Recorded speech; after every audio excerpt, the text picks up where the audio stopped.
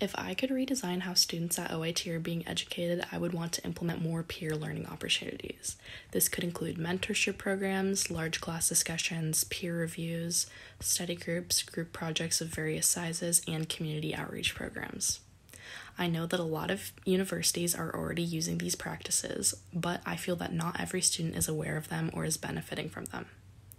As a student, I feel that one of the most effective ways that I learn is from my peers, and I know that many of my classmates feel the same way.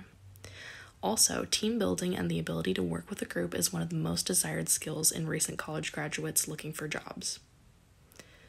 I think that if we can encourage more students to participate in peer learning activities and make them more accessible, we will see great results.